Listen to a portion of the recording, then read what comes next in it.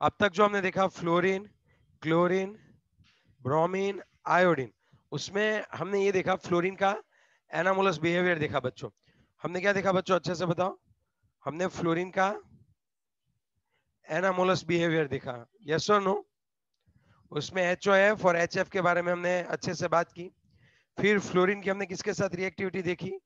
Reactivity towards hydrogen के साथ H F H C L H B R H I उसमें ये बताया स्ट्रॉन्ग ये सबसे ज़्यादा अच्छा थर्मली स्टेबल है और स्ट्रॉन्ग एसिड है।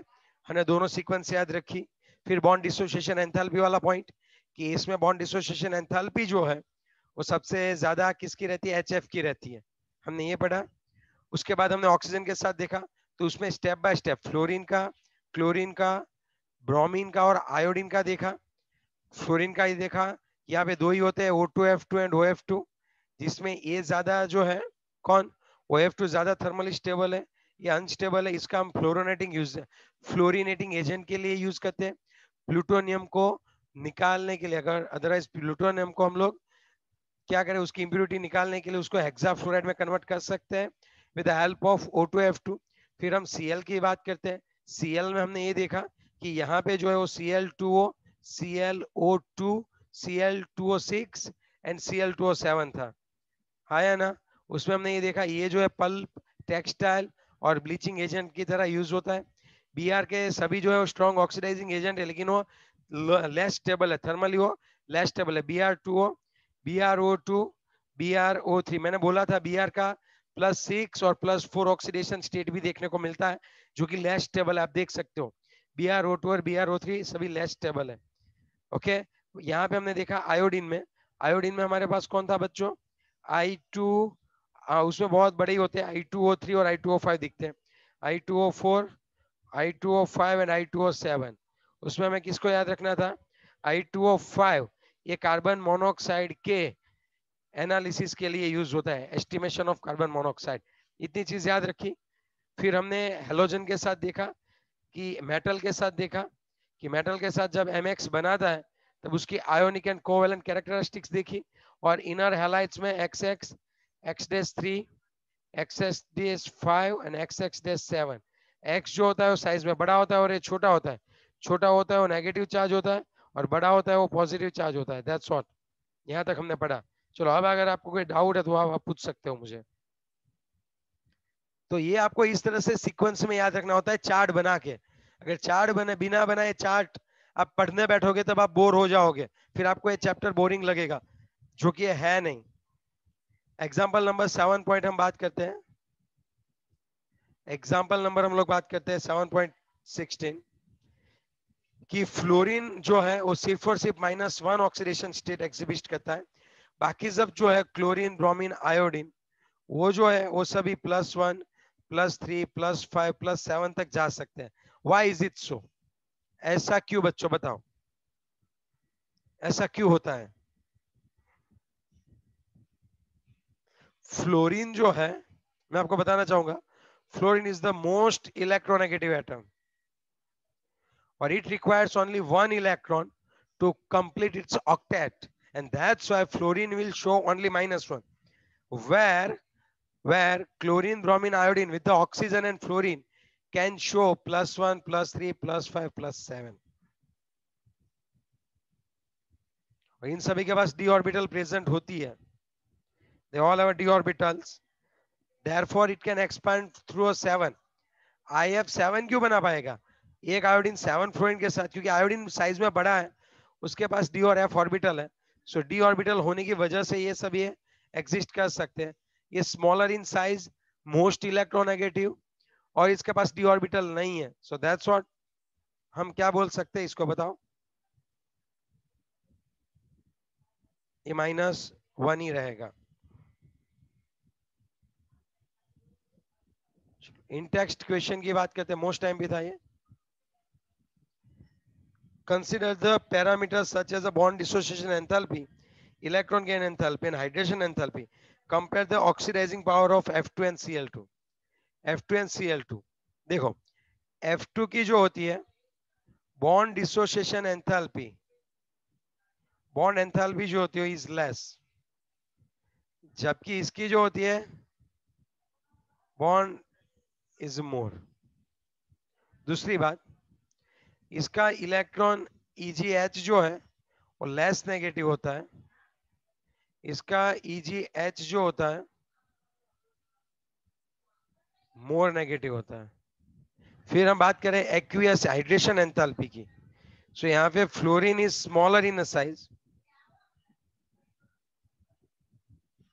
so the hydration enthalpy is more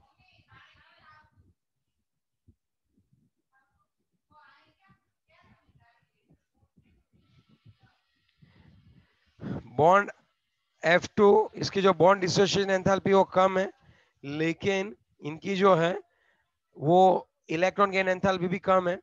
इसकी हाइड्रेशन एंथैल्पी ज़्यादा होती है बच्चों। कौन ज़्यादा होती है? हाइड्रेशन एंथैल्पी तो इसकी वजह से fluorine is a good oxidising agent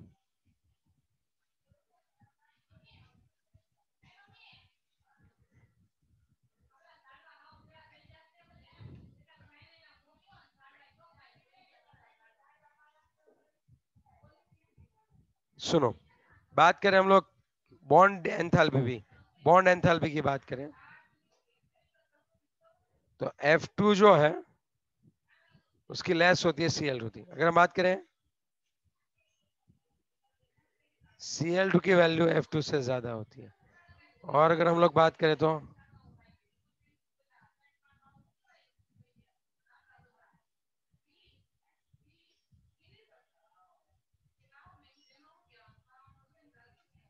hydration enthalpy में क्या हुआ है? ओके हाइड्रेशन एंथैल्पी में क्या होता है? फ्लोरीन की ज़्यादा होती है कंपेयर टू क्लोरीन और इन सभी के बाद आपको पता होना चाहिए fluorine is a more electronegative and due to more hydra due to more hydration enthalpy due to more hydration enthalpy fluorine is a good oxidising agent ये लिख लेना है, कहीं पे मिलेगा नहीं। फिर आप यहाँ पे घूमते फिरोगे। आई बात समझ में आपको, याद रखने बात।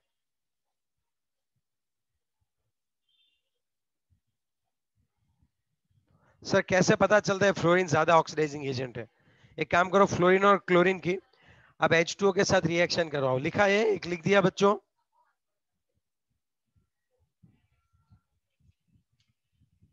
लिख दिया। लिखो चलो फटाफट।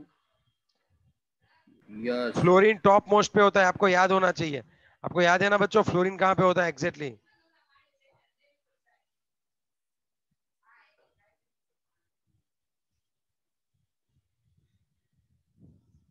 हो गया सर। हो गया पक्का? चलो ओके अब मैं आपको एक बात बताऊँ। फ्लोरीन जो होता है ना, अगर आप उसको पानी में डालोगे ना it's a so good oxidising agent A H को खींच लेगा। एच एफ़ प्लस हाफ़ फ़ोटो कर देगा। लेकिन जब आप सी एल टू को पानी के साथ रिएक्ट कल ही हमने देखा था शायद, तब क्या होगा? यहाँ पे H plus C L minus आपको देखने को मिलेंगे। आपको एच सी एल तो मिलेगा, लेकिन साथ में एच ओ सी एल भी मिलेगा। कहने का तरीका ये, fluorine is a good oxidising agent compare to chlorine ये तो पानी में से भी ऑक्सीजन को खींच लेता है। और यहाँ पे हाइपोक्लोराइड बनाता है। ये चीज़ आपको याद रखनी थी। 7.27 देखते हैं। Give two examples to show the anomalous behaviour of fluorine देखो, एक आप HOF वाला एग्जांपल दे दो और एक आप HF वाला दे दो कि HF is in a liquid form, the other hydrogen halides are in a gaseous form. HOF is only stable oxo acid of fluorine. HOF is a only stable oxo acids of fluorine. Okay? याद रखना, ये दोनों चीज़ बताती है कि fluorine जो है वो एनामोलस बिहेवियर आपको दिखाएगा 7.28 sea is the greatest source of some halogens comment सबसे ज़्यादा तो इसमें NaCl होता है MgCl two M G B R two भी होता है C A C L two C A B R two तो क्लोरीन ब्रोमीन आयोडीन सबको आपको अच्छे से सी में से सी वाटर में से मिल जाता है। इसीलिए हम ये बोल सकते हैं it's a huge source of it's a huge source of it's a huge source of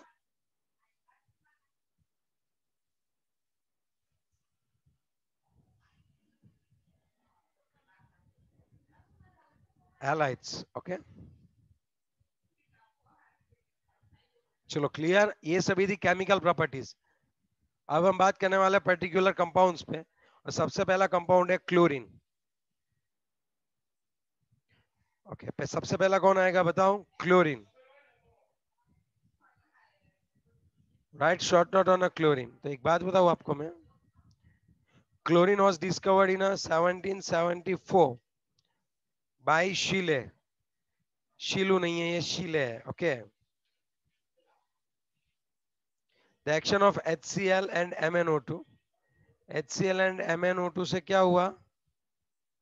उन्हें कौन मिला था? Cl2 नेम क्लोरीन किसने रखा था? डेवी इन 1810 डेवी नाम का जो साइंटिस्ट था, उन्होंने इसको क्लोर इन्होंने नाम रखा क्लोरीन जिसका मतलब होता है क्लोरीन नाम आया है, कहाँ से आया पता है आपको? क्लोरस से आया है। और क्लोरस का मतलब होता है ग्रीनिश येलो इसका जो कलर था वो ग्रीनिश येलो टाइप दिख रहा था। तब उन्होंने इसको क्या नाम दे दिया? ग्रीनिश येलो था तो इन्होंने इसको क्लोरीन नाम दे दिया। क्लोरस का मतलब होता है ग्रीनिश येलो और उसी के हिसाब से इन्होंने उसका नाम दे दिया था क्लोरीन। MnO2 और HCl के सबसे पहला पुराना HCl को MnO2 के साथ जब रिएक्शन करवाई, तब C L two plus M N C L two plus H two मिला था।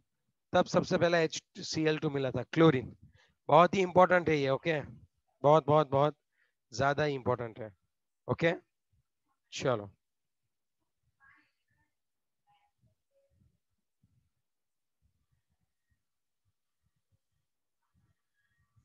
ओके चलो।